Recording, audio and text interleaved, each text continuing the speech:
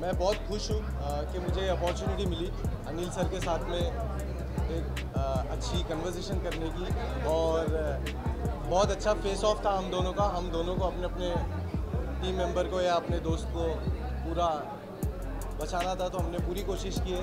वो भी कहीं ना कहीं तैयारी में था मैं भी कहीं ना कहीं तैयारी में था। बट बहुत अच्छा हुआ मुझे बहुत मैंने एक्सपेक्ट नहीं किया था लोगों से। मुझे लोगों ने बहुत प्यार दिया है। मेरा इंस्टाग्राम अलग बूस्ट पे चल रहा था उस दिन बट मुझे बहुत खुशी हो रही है इस चीज़ की कि मैं अदनान के लिए गया उस जगह पे और मैं उसके लिए लड़ा। मैंने पूरी कोशिश किया कि मैं मेरी सारी हक बात रखूँ जो अदनान के लिए हक में है और बाकी तो अल्लाह मालिक है जीते, नहीं जीते। एक हफ़्ते बाद। मेरे लिए बहुत सैड मोमेंट है क्योंकि अगर एक डिजिटल क्रिएटर कोई प्लेटफॉर्म पे जा रहा है जहाँ पे वोटिंग का पॉइंट होता है तो उसका जो यूएसपी है, उसका यूएसपी उसका फ़ैन बेस है, उसके इंस्टाग्राम के नंबर्स है और उसका डिजिटल का जो एक और है, वो वो सोच के लेके जा रहा है अंदर। बट घर में उसे वो ऑप्शन ही नहीं मिला कि आपके फैंस आपको वोट कर सके। हेड ऑफ़ द हाउस थे हेड ऑफ़ द हाउस देखो, ये बिग बॉस के कॉन्सेप्ट है और ये उनका क्राइटेरिया है तो वो उनके अकॉर्डिंग चलते हैं।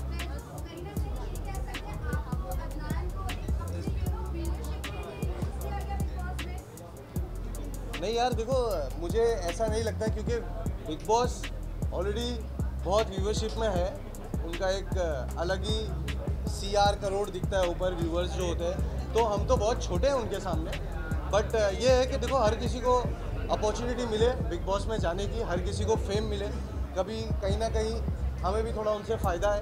और कहीं ना कहीं हो सकता है कि जो हमारे फैंस हो, जो इतना बिग बॉस में नहीं जुड़े हुए हैं, वो देखना शुरू कर दे। तो उन्हें कहीं ना कहीं छोटा बहुत फ़ायदा है बट उनके लिए वो फ़र्क नहीं पड़ता है।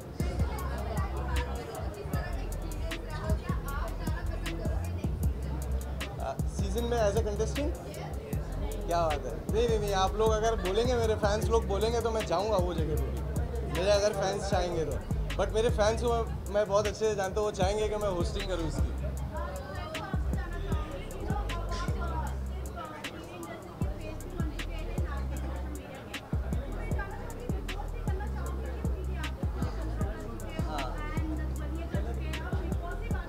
मैं अच्छा है कि आपने सवाल पूछ लिया। मैं, मेरे फैंस लोग को भी थोड़ा सा क्लियर कर देता हूँ गाइज़ मैं अपने आप में पूरा तैयार हूँ बिग बॉस में जाने के लिए और मैं चाहूँगा कि मैं उस जगह जाऊँ। बट कुछ चीज़ें हैं जो मेरी घर की बहुत पर्सनल है, जो मैंने उनसे टीम से शेयर भी किया है कि मैं वो वजह से नहीं जा पा रहा हूँ। बट क्या पता इन फ्यूचर कभी वो मौका मुझे मिल जाए और इन फ्यूचर कभी जाने मिल जाए तो वो बहुत अच्छी बात है।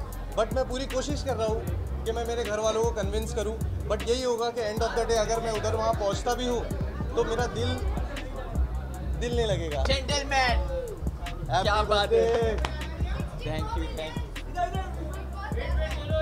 कैसा लग रहा हूँ?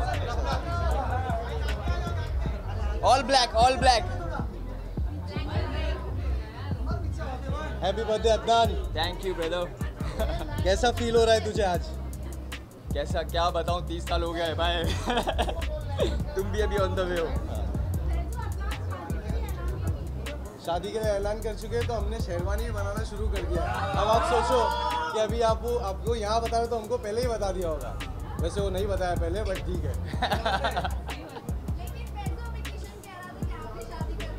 हाँ देखा, ये मेरे को पता था कि सवाल मुझे आएगा, और वो किशन ने नहीं बोला, देखो, वो बोल रहा है कि मैंने कब बोला।